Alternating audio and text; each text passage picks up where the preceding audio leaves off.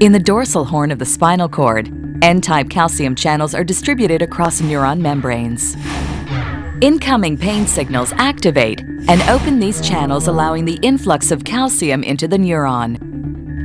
Increased calcium levels mobilize synaptic vesicles to release neurotransmitters into the synaptic cleft, thereby passing the signal along to the next neuron and allowing the delivery of the signal to the brain where it is interpreted as pain. Morphine and other related drugs control pain by affecting calcium channels, but indirectly by binding to opioid receptors upstream of the channels.